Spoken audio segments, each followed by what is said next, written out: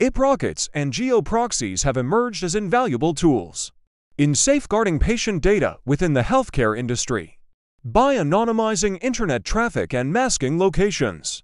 These technologies provide enhanced security, privacy, and compliance with data protection regulations. However, it is important for healthcare organizations to not solely rely on technology, but also invest in comprehensive employee training to ensure the effective protection of patient information.